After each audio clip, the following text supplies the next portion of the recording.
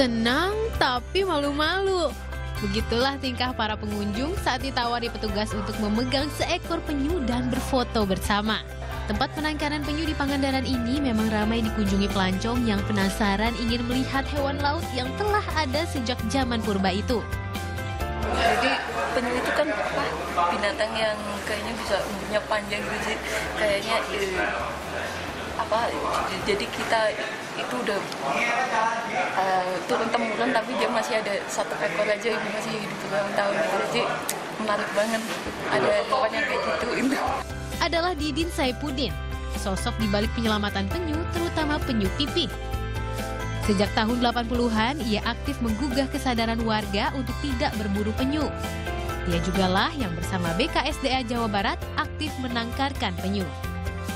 Ya, saya pengetahuan di lapangan sih kalau di seperti ini. Di buku panduan, penyu itu bisa diprediksi jantan betina sudah berumur 4 tahun. Padahal begitu netas juga sudah tahu. Kita sudah tahu ini calon betina.